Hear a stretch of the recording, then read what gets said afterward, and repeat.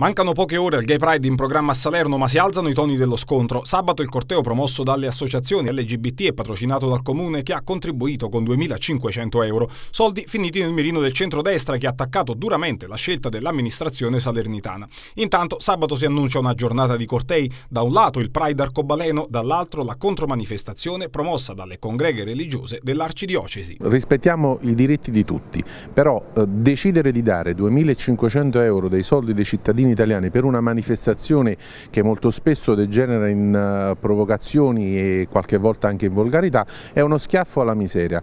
Qualcuno ha detto che il contributo è piccolo, andatelo a dire alle famiglie che con difficoltà arrivano a fine mese, andatelo a dire a tutti quelli che vanno al comune a bussare disperati gli viene detto no mi dispiace non ci sono soldi.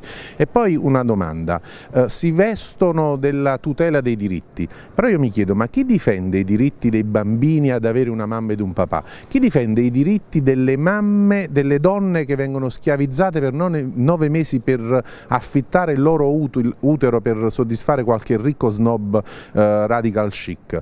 Eh, chi li difende questi diritti? Chi difende il diritto a veder non vilipesa la propria tradizione religiosa e la propria ispirazione cristiana? Tutti questi diritti scompaiono.